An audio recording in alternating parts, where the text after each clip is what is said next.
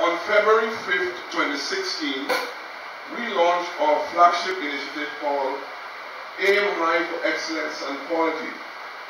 The acronym AIM stands for Achieving Improved Measurements was the overarching framework introduced as a key strategy in driving continuous improvements in quality.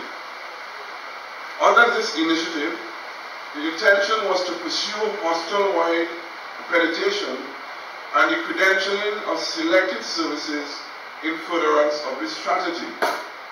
The five pillars in which this program was launched includes hospital-wide accreditation through Accreditation Canada International, laboratory accreditation under the ISO 15189 standards for laboratory quality management, the recertification of the Queen Elizabeth Hospital in the promotion of breastfeeding under the Baby Friendly Hospital Initiative sponsored by PAHO and UNICEF, the pursuit of Hazard Analysis Critical Control Point or HACCP certification for improving food safety and its operations, strengthening our ICT infrastructure through the ISO 27001 Code of Practice for Information Security Management.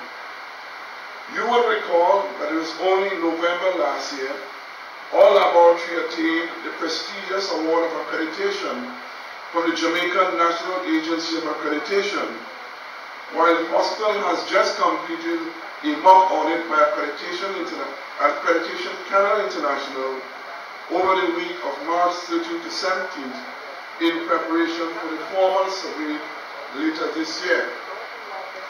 From the feedback received from the surveyors, we are optimistic that the achievement of the gold standard of accreditation is within striking distance. As a matter of fact, we've complied with 75% of the required organizational practices uh, at this point in time. This evening, we're here to celebrate the achievement of the prestigious award of HACCP certification of our Food Services Department. What a tremendous feat. As I reflected on this journey, a number of key milestones are worthy to mention. In late December 15, my board approved the conduct of an audit of food services operations, facilities, and procedures with a view towards ascertaining its readiness to pursue HACCP certification. In that regard, the firm of CMG International was engaged and proceeded to conduct the audit on January 7th of the following year. Report was received by the board with a clearly articulated action plan to drive the way forward. The steering committee was immediately established with the Director of Support Services as the lead.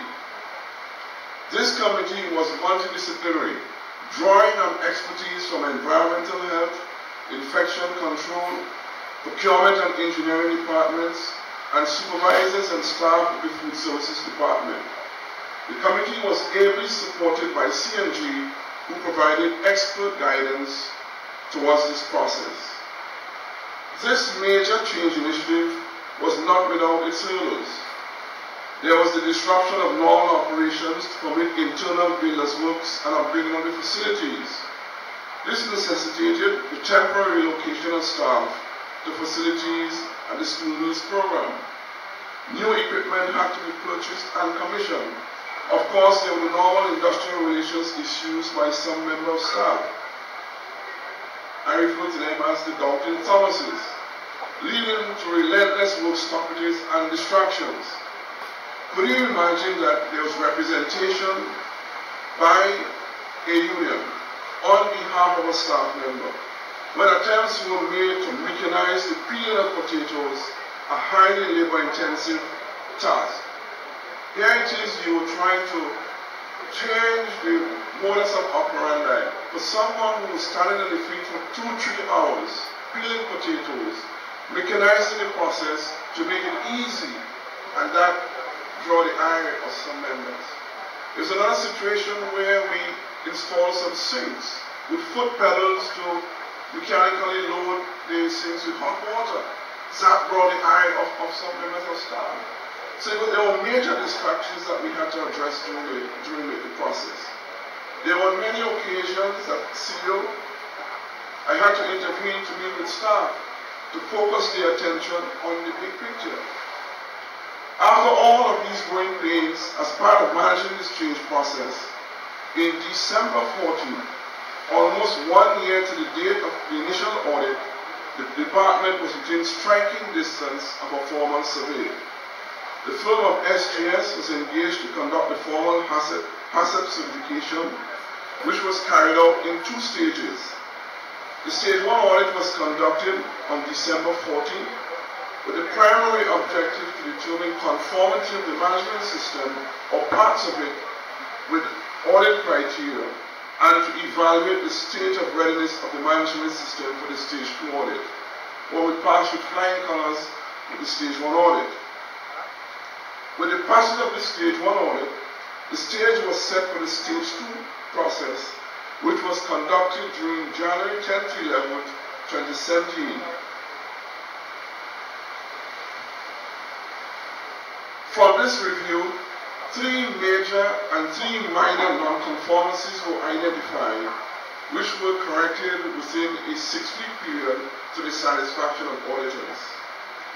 Ladies and gentlemen, by memorandum of April 25, 2017, the Food Services Operations of the Food and Nutrition Department was advised by the surveyors SGS that, and I quote, based on the results of this audit, and the systems demonstrated state of development and maturity, the audit team recommends that management system certification be granted.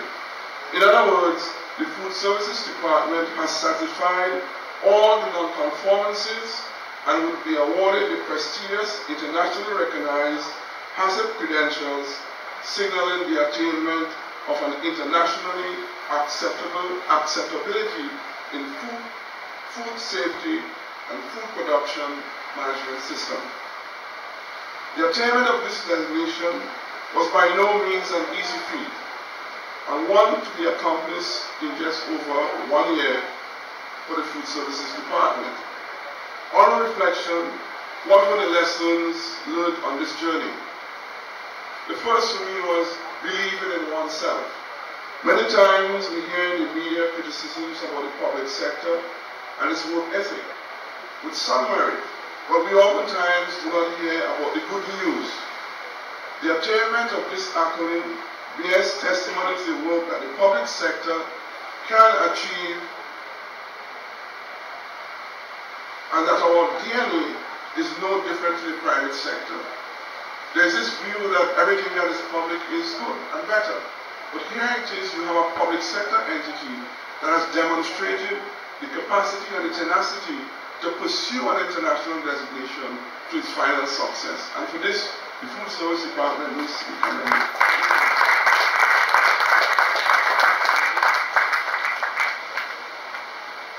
The mighty Stalin song, We Could Make It If We Try, just a little bit harder, is very fitting to mark this achievement.